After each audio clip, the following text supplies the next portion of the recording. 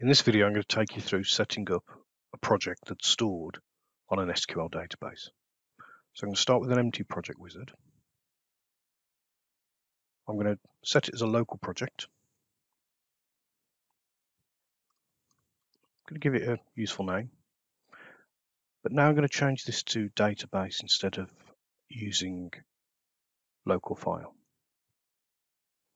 So I've clicked it. I need to give my application and name. Now I'm using Windows Authentication because I only intend for this to be used on this machine.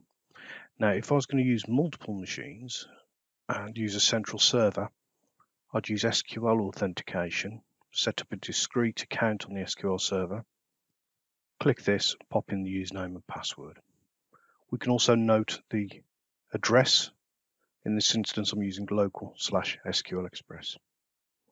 Now this piece of information here, the DB connection string, this is really important. We're going to need this later on. So I'm just going to highlight it.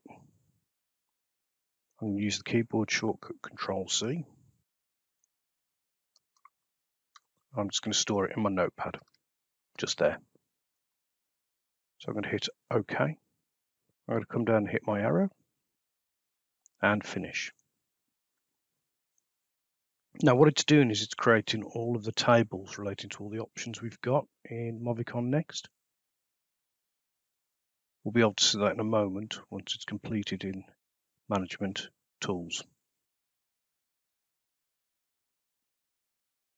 So it's now created our application. In Management Studio, if I refresh this now, I actually have demo SQL. And it's actually created all of the tables inside here. In our next video, I'm going to show you how you can start a SQL based project into runtime mode. Thanks for watching.